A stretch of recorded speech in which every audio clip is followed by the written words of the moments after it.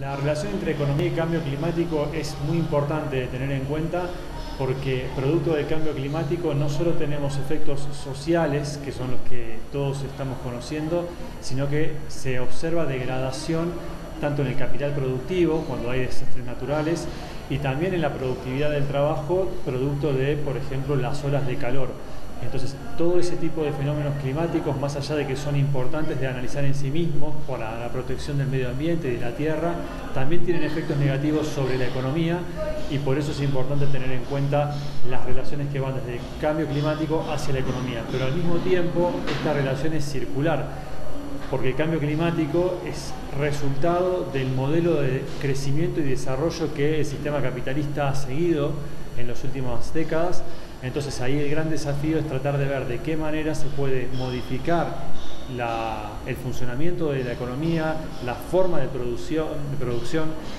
el tipo de financiamiento que se entrega, hacia qué tipo de proyectos se orientan las finanzas, de manera tal de proteger más el medio ambiente, de forma tal de que esos feedback o esos efectos de retroalimentación que van desde el medio ambiente hacia la economía puedan ser los menores posibles y de esa manera lograr una economía más sana y también un medio ambiente y una tierra más sustentable. Bueno, tanto América Latina como Colombia en particular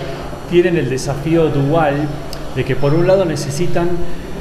levantar el nivel de vida de sus poblaciones. Tenemos en América Latina un montón de personas que todavía viven en situación de pobreza, que son víctimas de situaciones de desigualdad, que no tienen acceso a la protección social y todos esos son desafíos que tradicionalmente desde la economía pensábamos que se resolvían creciendo más. Pero sabemos que crecer más bajo la forma de producir que tiene América Latina hoy y que históricamente ha tenido, que se basa en la extracción de recursos naturales, genera efectos negativos sobre el medio ambiente. Entonces ahí existe una tensión entre los desafíos de generar mejor calidad de vida a través del crecimiento y la protección del medio ambiente. El desafío pasa por encontrar una forma de crecer sin que eso dañe la tierra, de manera tal de que podamos cumplir el objetivo al mismo tiempo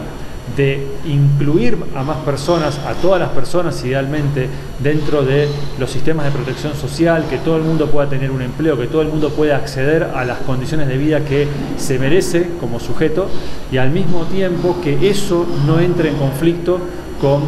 la naturaleza. Ese es el gran desafío que hay en América Latina y por eso un proyecto como el que estamos trabajando aquí tiene como objetivo empezar a pensar cuáles son las maneras de integrar la dimensión ecológica con la dimensión económica y la dimensión financiera de una manera coherente.